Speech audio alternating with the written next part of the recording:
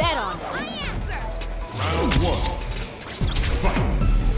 Let's see what they try and do here in this first round. Let me see some of the good stuff. Now they get pushed into the corner, where it's going to be hard to escape. This might be an important turn in the match.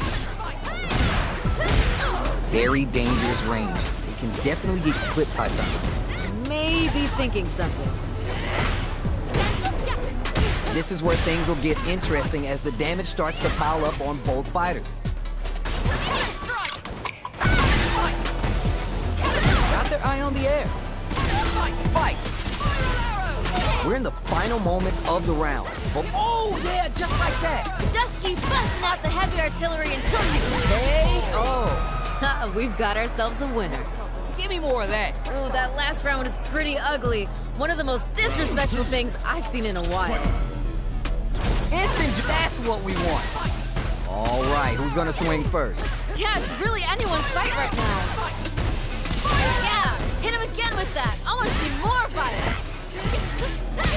Risky up-close crap still going on. Yeah, hit him again with that. I want to see more violence.